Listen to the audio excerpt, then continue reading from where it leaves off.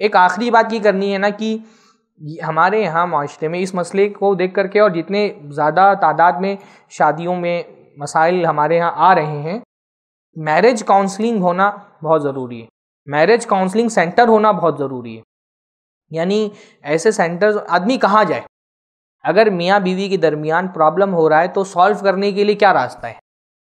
या तो आपस में बातचीत करके सॉल्व कर लें, आपस में बातचीत करके सॉल्व नहीं हो रहा तो क्या होता है? रिश्तेदारों को बुलाओ। और रिश्तेदार लोग मामला सुलझने वाला भी तो उलझा देते हैं। आम तजुर्बा ये सुलझने वाला मामला भी उलझा देते हैं। वो क्या होता है ना, भाई आकर के अपना गुस्सा दिखाएगा, बाप ने आकर के गाली दे दी, फूफा आकर के जो है वो मार के चले गए। तो ये अपना गुस्सा निकाल करके चले गए। ज़िंदगी किसकी खराब होती है? उस लड़की की खराब हो गई। वो आकर के घर बैठ जाएगी। अब शोहर ने मार खाई है भाई के हाथ से तो वो फिर रखेगा बीवी को हाँ? तो वो फिर उसको उसको मारे, उसको गाली दिए, उसको बदनाम किए तो वो छोड़ दिया लड़की को। लड़की आके घर पे बैठ गई। अब उस लड़की को वो भाई जो गाली दे रहा था ना जा करके वो भी नहीं संभालेगा। वो भी उसका सहारा नहीं बनेगा। वो फूफा कभी पूछने नहीं आएँगे जो मार करके चले गए थे। हाँ? मामू, चाचा, दादा जो लोग आते हैं ना, सब आकर के गुंडा कर दी गाते हैं। जाहिल तो होते ही अक्सर लोग। भाई, सुलह करना, सुलह की साइंस होती है। सुलह करने का तरीका होता है। आमतौर पे सुलह के लिए रिश्तेदारों को बुलाया जाता है ना बनने वाला मामला छोटा से छोटा बिगाड़ करके रख देते हैं।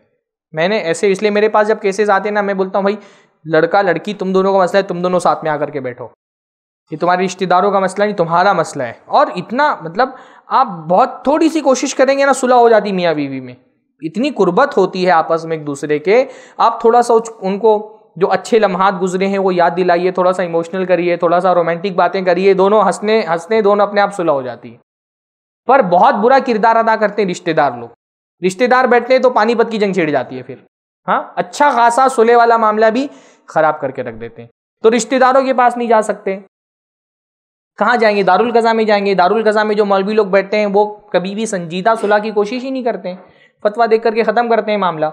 भाई, सुलह कराने की साइंस होती है, रिलेशन की साइंस होती है। जो आदमी उनको समझता हो, उन मामला को देखता हो, डील करता हो, तजुर्बा किया हो वो मेहनत कर, करेगा तो सुलह हो जाएगी इनशाला पर उसकी कोशिश ना रिश्तेदार करते हैं, ना ये कपल्स आपस में करते हैं, ना दारुल कज़ा वाले करते हैं।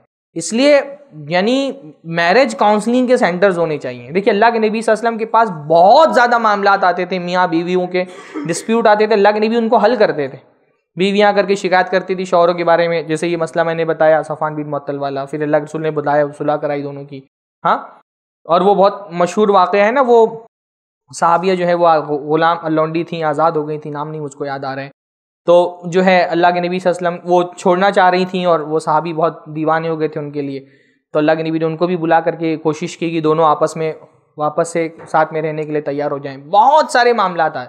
बहुत ज़्यादा मामला आपको हदीसों में मिलेंगे कि कोई बीवी का मसला है, वो आके शिकायत करती थी, अल्लाह के शौहर को बुला करके समझाते थे। शौहर अगर के शिकायत करता था, अल्लाह के बीवी को बुला करके समझाते यानी अल्लाह के नबी वसल्लम की सीरत के बहुत ज़्यादा पहलुओं में एक पहलू ये कि अल्लाह के नबी बहुत अच्छे मैरिज काउंसलर थे। काउंसलिंग बहुत अच्छी करते थे शादियों में। औरतों की भी अच्छी काउंसलिंग करते थे, शौहरों की भी अच्छी काउंसलिंग करते थे। तो को ये ज़िम्मेदारी भी निभानी चाहिए। इस पर बाकायदा तरबियत होनी चाहिए, इसके लिए कोर्सेज होनी चाहिए। आप देखिए वेस्टर्न कल्चर में ये बहुत आम है मैरिज काउंसलिंग सेंटर वो लोग पैसा लेकर के काउंसलिंग करते हैं। दो घंटा, चार घंटा बिठा करके आपस में एक दूसरे के मसाइल को समझाने की गुफ्तु करने की कोशिश करते हैं तो उलमा को ये काम भी करना चाहिए। सिर्फ़ फतवा लिख करके नहीं देना चाहिए, सिर्फ़ जो है वो कज़ा लिख करके नहीं देनी चाहिए, सिर्फ़ खुला नहीं करानी चाहिए। खुला कराने वालों को तो मैंने देखा है, वो कोशिश करते हैं कि खुला हो जाए, क्योंकि सुलह हो जाएगी तो पैसा हाथ में नहीं आएगा। सुलह हो गई तो निकल गया, खुला हो तो पाँच मैंने बाज लोगों को मैंने देखा बांद्रा कोर्ट में, वो बोलते हैं कि वैसे तो हनफी फिक के मुताबिक खुला नहीं होती, पर मैं करा दूँगा, पाँच हज़ार रुपया लगेगा। यानी हनफी फिक में खुला बहुत मुश्किल चीज़ है, बहुत उसके शरायत हैं। तो लड़की जाती है तो बोलते थे खुला तो होगा नहीं, लेकिन मैं नहीं, होगा नहीं तो आप कैसे करा देंगे? तो कहते होगा तो नहीं, मैं करा दूँगा, पाँच हज़ार लगेगा। तो वो जिसको पाँच हज़ार खुला कराने पे मिल रहा है, सुलह पे तो कुछ नहीं मिलेगा तो वो क्यों सुलह कराएगा? तो जानबूझ करके खुला कराते हैं वो।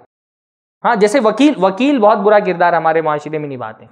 वकील के पास आप जाए ना, कुछ छोटा सा मसला होगा, वो बोलेगा, डाउरी का केस डाल दो, डोमेस्टिक वायलेंस का केस डाल दो। हाँ अब तो तीन तलाक हो गया है। हाँ इधर तीन तलाक का केस डालो, उधर लड़के को उठा लेगा आदमी। पूछेगा भी नहीं कि तलाक दिया कि नहीं दिया। वकील बहुत बुरा किरदार निभाते हैं। मुसलमान वकील को तो ऐसा नहीं होना चाहिए। हाँ कि सुलझता हुआ मसला उलझा दे। और फिर जब केस कोर्ट में जाता है ना तो सुलह के चांसेस बहुत कम हो जाते हैं।